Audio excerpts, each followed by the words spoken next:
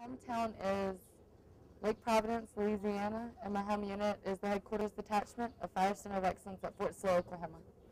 I've been at Camp Eggers for a month and a half now.